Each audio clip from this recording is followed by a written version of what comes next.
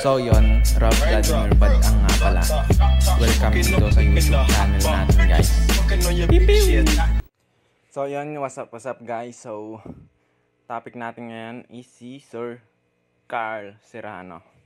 So, kilala nyo ba to siya guys? So, si Carl Serrano ay isang network marketer din. So, sumikat siya, sumikat siya last year eh dahil sa mga inspirational videos niya, mga motivational videos niya.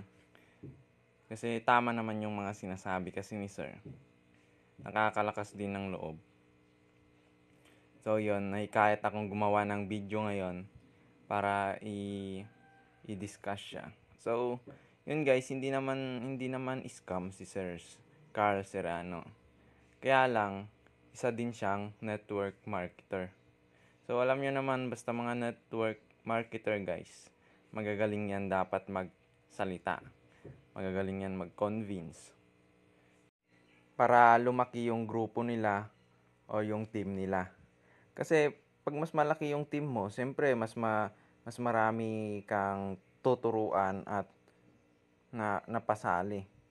So, dun, dun sila kumikita guys kung maraming sumasali, maraming nagpapaturo, maraming bumibili sa course nila, sa mga trainings nila. So doon sila kumikita, guys. Kaya kaya hindi naman hindi naman siya scam kasi tinuturuan kayo. 'Yun nga lang, yung iba is binibitin kayo. Imbis na okay lang sana na libre na ituro, yung mga 'yon eh sa kanila may bayad. So parang ganun lang, guys. So ginawa nilang negosyo. Pero okay naman din kasi learnings naman din nila yon yung tinuturo nila yung mga experience lang naman din nila yon so makukuha din yon ma, may halaga din yon yung tinuturo nila.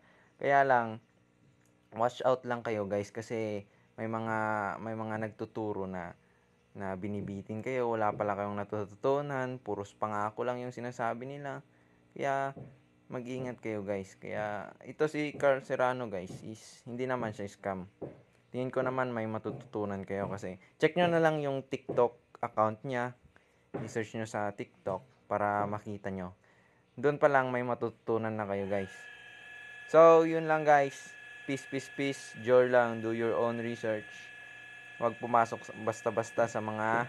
Huwag magpapaloko. Basta yun lang guys. Peace, peace, peace.